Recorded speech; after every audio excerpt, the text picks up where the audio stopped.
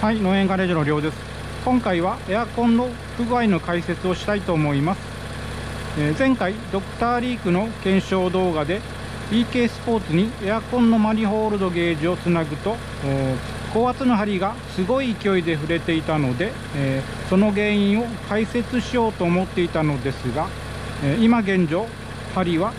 少ししか触れていません。こんな感じですね。針が触れる原因を調べるといくつか原因があるらしいのですが、えー、その一つとしてコンデンサーの冷却不良があります、えー、コンデンサーはこれですね。これの冷却不良によって、えー、高圧の針が、え触れることがあります、え試しに、え段ボールで塞いでみます。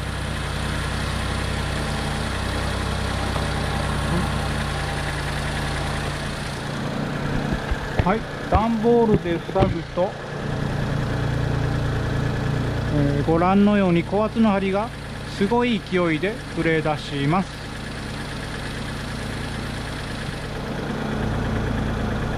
えー、前回の動画と違うことといえば今現在、えー、外気温が少しだけ低いこととあとパンパー。パンパーを外しただけですが、えこれだけでも冷却効率が変わっているようです。はい、えー、それでは高圧が結構触れていますが段ボールを外すと、え高圧の針の触れもだんだんと収まっていきます。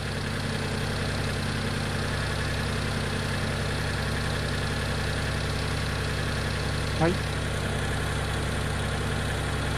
えー、根本的な原因としてはラジエーターの電動ファン、えー、ラジエーターの電動ファンのへたへたりによってあの冷却コンデンサーの冷却があうまくいってない可能性もあります、えー手をかざした感じでは結構勢いよく回っているので良さそうなんですけどちょっとウエスをかざしてみます。結構結構電動ファンは勢いよく回っているんですけど PK ももう20万キロ以上走っている車なので多少は電動ファンもへたっていると思います。はいちょっとうるさいのでエンジンを止めます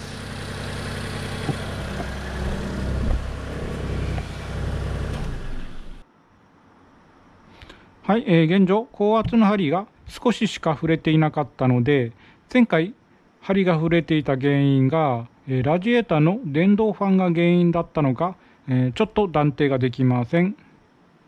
えあと考えられる原因としては、えコンデンサー自体の詰まりによる冷却不良です、えコンデンサーが詰まり気味となって、え冷却不良を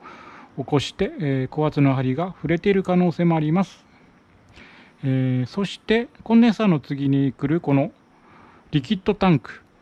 えリキッドタンクも詰まりやすいので、えー、こちらも同じように詰まり気味となって、えー、高圧の針が触れている可能性があります。はい次に言われている原因が、えー、水分の混入です、えガスチャージなどメンテナンスの時に空気と一緒に水分が混入して、え液パンが凍ったり溶けたりすることによって、え針が触れると言われています。えー、